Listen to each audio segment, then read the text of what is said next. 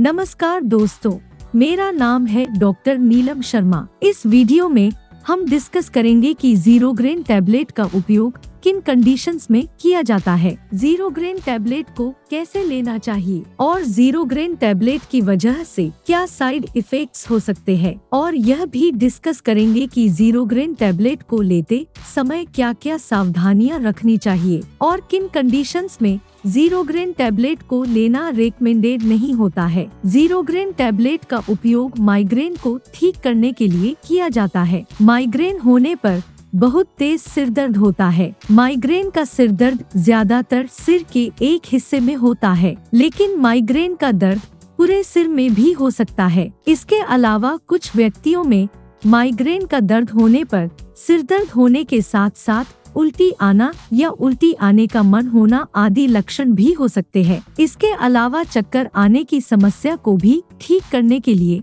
Doctor zero grain tablet को लेने की सलाह दे सकते हैं। ज़ीरो ग्रेन एक ब्रांड नेम है। ज़ीरो ग्रेन टेबलेट के अंदर सॉल्ट कंपोजिशन फ्लूनारिजिन होता है। ज़ीरो ग्रेन टेबलेट पाँच एम व दस एमजी की स्ट्रेंथ में अवेलेबल है। दोस्तों, कृपया वीडियो को लाइक करना न भूलें। अब हम डिस्कस करेंगे कि ज़ीरो ग्रेन टैबलेट को कैसे लेना रिकमेंडेड होता है। ज़ीरो ग्रेन टैबलेट को खाना खाने से पहले भी लिया जा सकता है और खाना खाने के बाद भी लिया जा सकता है। ज़ीरो ग्रेन टैबलेट को शाम के समय लेना रिकमेंडेड होता है। आमतौर पर 18 वर्ष से अधिक उम्र के ज़्यादातर व्यक्तियों को डॉक्टर ज़ीरो ग्रेन पाँच एम टैबलेट या ज़ीरो ग्रेन दस एम टैबलेट को दिन में एक बार और शाम के समय लेने की सलाह देते हैं। लेकिन ज़ीरो ग्रेन टैबलेट की खुराक उम्र, शरीर के वज़न और बीमारी की गंभीरता के आधार पर कुछ व्यक्तियों में इससे अलग भी हो सकती है। इसलिए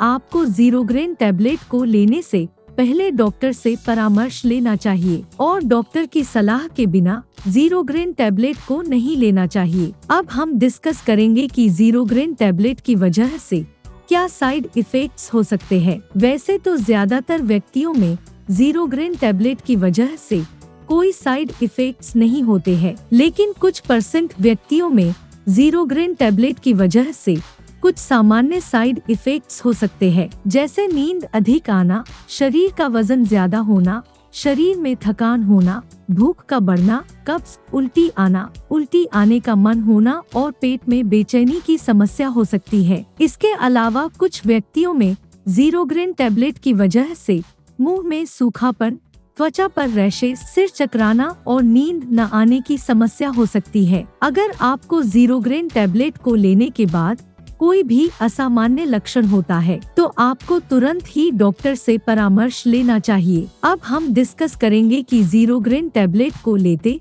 समय क्या क्या सावधानियाँ रखनी चाहिए और किन कंडीशंस में ज़ीरो ग्रेन टैबलेट को लेना रिकमेंडेड नहीं होता है। डिप्रेशन होने पर और पार्किंसंस डिज़ीज़ होने पर ज़ीरो ग्रेन टेबलेट को लेना रेकमेंडेड नहीं होता है। इसलिए इन कंडीशंस में डॉक्टर की सलाह के बिना ज़ीरो ग्रेन टेबलेट को नहीं लेना चाहिए। ज़ीरो ग्रेन टेबलेट को लेने के बाद ड्राइविंग नहीं करनी चाहिए और ऐसी मशीनों पर काम भी नहीं करना चाहिए, जिन पर काम करने के लिए अधिक मानसिक सतर्कता की आवश्यकता होती है। क्योंकि ज़ीरो ग्रेन टेबलेट की वजह से कुछ व्यक्तियों को नींद ज़्यादा आने की समस्या हो सकती है। ज़ीरो ग्रेन टैबलेट केवल माइग्रेन के अटैक को होने से रोकती है। ज़ीरो ग्रेन टैबलेट माइग्रेन की वजह से हुए सिरदर्द को ठीक नहीं करती है। इसलिए ज़ीरो ग्रेन टैबलेट को माइग्रेन की वजह से हुए सिरदर्द को ठीक करने के लिए नहीं लेना चाहिए, क्योंकि ऐसी स्थिति में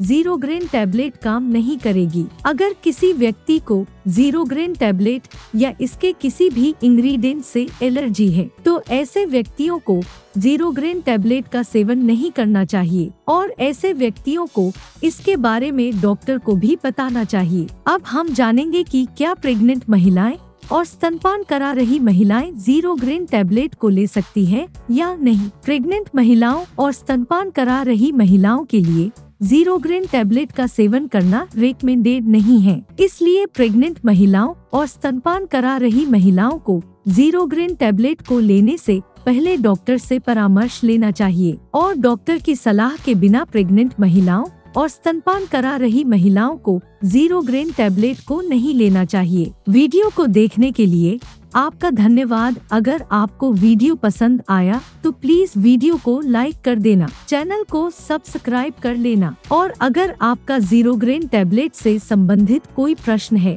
तो आप कमेंट करके पूछ सकते हैं।